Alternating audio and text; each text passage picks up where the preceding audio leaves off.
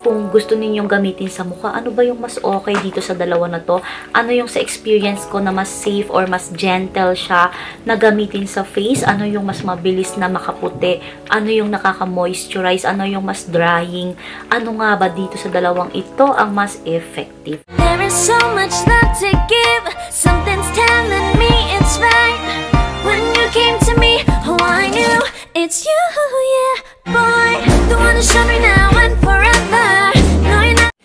everyone! Welcome to my YouTube channel. My name is Maymay.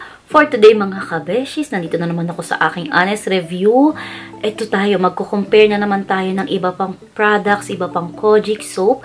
And yung latest nga na na-review ko, kung hindi nyo pa napanood, panoorin nyo lang sa aking channel. I-check nyo yung mga bago kong vlogs. And ito yung Bello Kojic Acid plus Tranexamic Acid. I-compare natin ngayon kay Koji Sun Soap na wala ng laman. Naubos na, ubos na talaga. so ito, ito na yung bago kong tinatry ngayon. And one month ko siyang nagamit. Ano nga ba yung mas maganda sa dalawang to? Kung meron kayong sensitive skin, kung gusto ninyong mabilis na makaputi, ano yung mas effective? Kung gusto ninyong gamitin sa mukha, ano ba yung mas okay dito sa dalawa na to? Ano yung sa experience ko na mas safe or mas gentle siya na gamitin sa face? Ano yung mas mabilis na makaputi? Ano yung nakaka-moisturize? Ano yung mas drying? Ano nga ba dito sa dalawang ito ang mas effective na pampaputi or makalighten ng mga blemishes and hyperpigmentation? Ito lang talaga yung aking honest experience, honest review na pwede kong i-share sa inyo. Again guys, always do patch test kasi iba-iba tayo ng skin types, iba-iba yung mga products na pwedeng mahiyang tayo. But again, I'm doing this vlog para sa mga naghahanap or nagtatanong kung ano nga ba yung magiging pwedeng effect or possible effects nitong dalawang ito at ano yung mas effective. First, let's talk about Koji Sun Soap. Itong Koji Sun Soap is really effective talaga siya. Especially kung gusto ninyo yung mas mabilis makaputi, yung gusto ninyo yung nagbabakbak talaga yung skin ninyo na makikita talaga ninyo na may peeling effect siya. Ito talaga yung Koji Sun Soap talaga yung masasabi ko na effective talaga, mas mabilis. As early as 2 weeks, magiging visible na siya. But again, hindi ito magic ha. Baka kasi may iba kasi na nag-e-expect na, ay, ang puti niya, siguro ganun kaputi din ang magiging effect ng soap na to sa.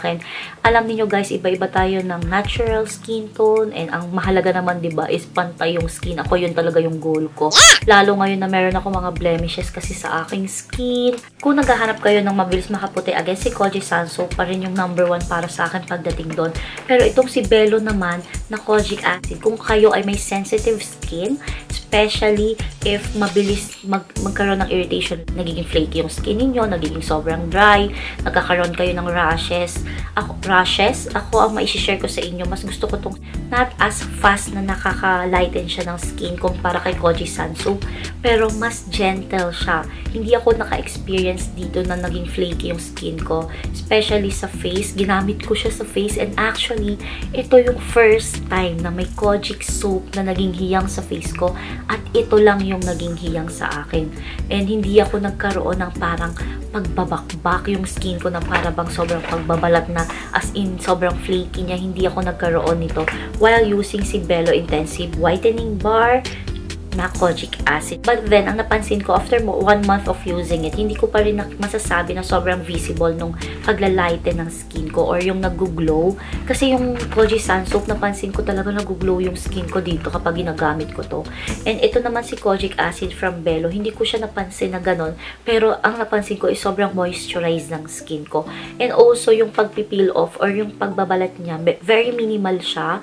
And ang napansin ko nga, kung napanood yung previous vlog ko or yung review ko dito kay Bello. Kung hindi nyo pa napanood yung, hanapin nyo lang sa channel ko again. Pero yon napansin ko yung sa skin ko sa paa, sa, sa talampakan, as in, sobrang nagbalat siya. So, siguro dun talaga yung marami akong dead skin talaga na tinanggal talaga niya. So, pwede ko talagang sabihin na visible din naman, na, nakita ko rin na nag-peel off siya. Pero pagdating sa mga skin ko dito sa aking arms, sa aking legs, hindi ko pa napansin na nagpipeel off. Siguro, siguro micro-peeling siya, yung as in hindi mo mahahalata. Kasi I think nag, nakatulong naman din siya to, na para mag-glow yung skin ko. Again guys, hindi ko na kasi uh, hinahangad pa ng mas pumuti. Pero ang gusto ko kasi is maging pantay yung skin or yung color ng skin ko. And so, yun napansin ko, naglighten siya pero very minimal siya. Hindi ganoong kahalata, hindi gaanong nag-glow. Titingnan ko sa mga susunod na buwan, itutuloy-tuloy ko to para mabigay ko sa inyo yung honest review ko pag tuloy-tuloy na. But yun nga, kung gusto ninyo yung nakaka-moisturize, nakaka-lighten, hindi man ganun kabilis, pero sigurado kayong magla-lighten, ito, itong si Bello. Pero kung gusto niyo yung mabilisan, yung talagang agad-agaran, mas mabilis, itong si Koji Sansoap. But again guys, ito lang, ang side effect kasi, mas mabilis ka rin iitim kay Koji Sansoap kasi nga mas mabilis siya makaputi, ba diba? So kung kayo ay nababad sa araw, kung hindi kayo gumagamit ng lotion or sunblock with SPF 30 or higher than SPF 30 yung isasuggest ko sa inyo. Ako mas gusto ko SPF 50 pataas talaga.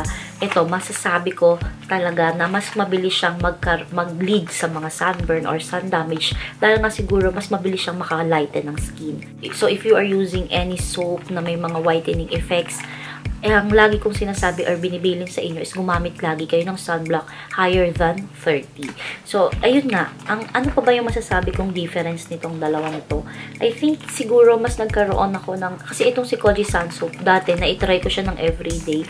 Talagang minsan nagkaka-rashes ako or sobra yung pangangati ng balat ko. And dito hindi ko siya na-experience na kay Bello. But again guys, yun nga, iba-iba tayo ng skin types ha. Iba't iba yung ating makakahiyangan. So, baka mamaya ako lang yun dahil na sensitive yung aking skin. And also, itong si Koji Sun Soap, hindi ko siya pwedeng gamitin sa aking face. Kasi masyado siyang nagiging dry, nagiging, flake, nagiging flaky, and also minsan nagkakaroon ako ng pimples kasi nagkakaroon ako ng purging effect dito kay Koji Sun Soap. So, hindi ko siya ginagamit talaga sa face ko. But again, ito nga yung kauna-unahang Kojic soap na hindi ako nagkaroon ng irritation kahit na everyday ko siyang ginagamit. So, I love using this product dahil doon pagdating sa mukha. Pagdating naman sa price, ano nga ba yung mas mura at mas mahal? So, depende rin sa budget ninyo. So, kung naghahanap kayo ng mura lang, masasuggest ko si Koji Sun Soap kasi mas mas lesser yung price niya kumpara kay Bello na Kojic soap. Mas mahal kasi si Bello eh. But again guys, kung meron nga kayong sensitive skin, I think it's worth it na itry nyo si Bello Kojic soap. But kung kayo ay nasa nagbabudget talaga kayo, gusto niyo hindi ganun kamahal, mas affordable, then doon tayo kay Koji Sun Soap. Ito naman, Pagdating naman sa mabilis matunaw, alin dito sa dalawang to yung mabilis matunaw? Alam niyo sa totoo lang, ang pinaka mas mabilis talagang matunaw, actually sa lahat ng Kojic soap na na-try ko before, ito talagang si Koji Sun soap, mabilis talaga siyang matunaw. As in, parang iwan mo lang siya saglit doon sa CR. Tapos, natutunaw talaga siya agad. Yun yung medyo problema kasi dito kay Koji Sun soap. But, you know, gusto-gusto ko talaga si Koji Sun. Pero yun yung isa talaga sa pinaka napansin ko sa kanya, mabilis siyang matunaw. Kumpara kay Bello Kojic soap na hindi siya ganong kabilis matunaw. But of course, kung naiwan mo sa CR yan, matutunaw at matutunaw yan. Lalo kung basa yung area, ganyan. So, kailangan siguraduhin nyo yung paglalagyan, no? Pero, kumpara dito sa dalawang to, mabilis pong matunaw si Koji San Soap. Ito yung mga questions na I think na baka possible na pwede nyo itanong. Pero, if meron pa kayong mga questions na hindi ko masasagot sa vlog na to, please, please don't hesitate to comment down below lang para mabigay ko sa inyo kung ano yung aking honest review or ano yung experience ko sa paggamit ng product na to.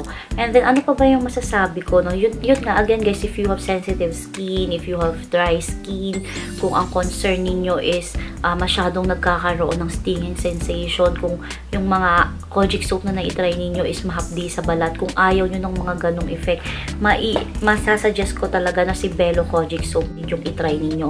Again guys, iba-iba nga tayo ng skin type. So, pwede rin, baka mamaya yun yung maging side effect sa inyo. Kasi sa ganitong mga whitening products or may mga active ingredients, ang mga possible na side effects kasi niya nagkakaroon ng redness, stinging sensation, or magkaroon ng irritation, or pwede magkaroon ng rashes. So, beware lang kapag ganun nga na meron na kayong continuous. So, kung hindi kayo hiyang, kailangan itigil talaga ninyo or hanapin nyo yung brand na hiyang kayo. Itong si Koji Sun Soap, so siguro kung doon kayo more on normal skin kayo or yung gusto talaga ninyo, mabilis na maglighten yung skin ninyo and also nagtitipid kayo, mas maisasuggest ko si Koji Sun Soap na kasi mas effective talaga siya, mas mabilis talaga siyang makaputi ng skin.